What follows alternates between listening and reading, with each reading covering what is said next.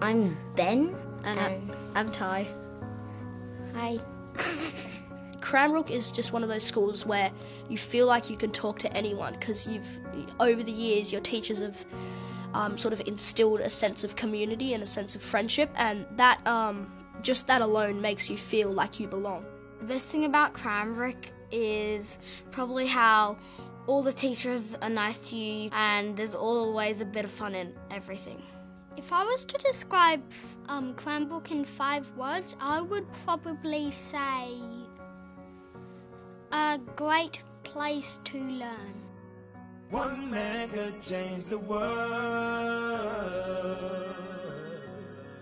One man could change the world.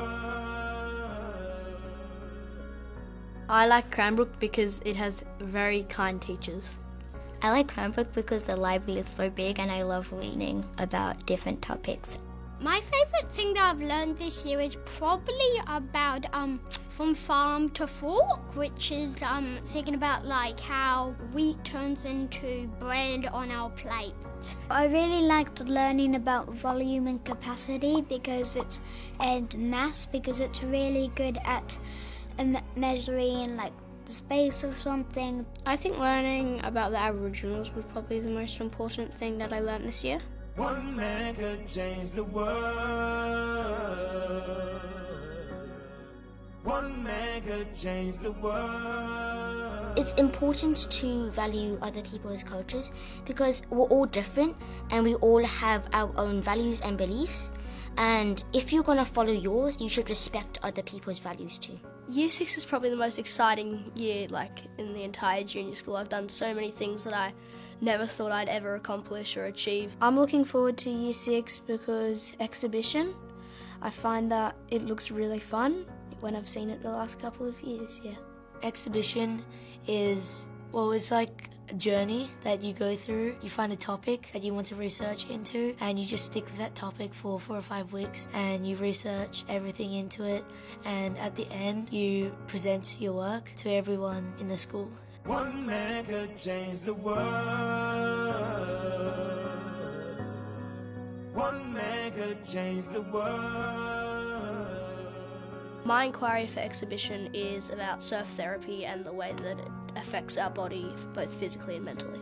I'm inquiring into the impacts of social media on health and human relationships. Our central idea is natural phenomena control and connect us. Sustainability is about um, like keeping something for a long time, which we're not really doing much.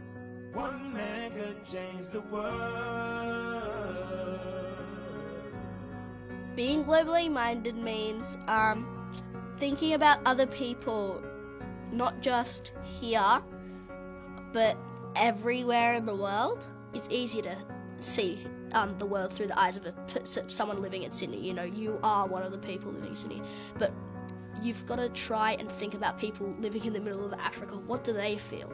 What are, what is it like living in the middle of Africa?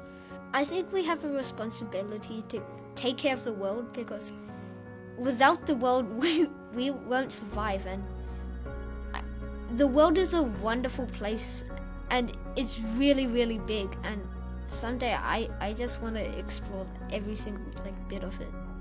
Saying, I hope you learn to make it on your own. And if you love yourself, just know you'll never be alone. I hope that you get everything you want and that you chose. I hope that it's the realest thing that you ever know. When you get it all, just remember one thing. Remember one thing that one man can change the world.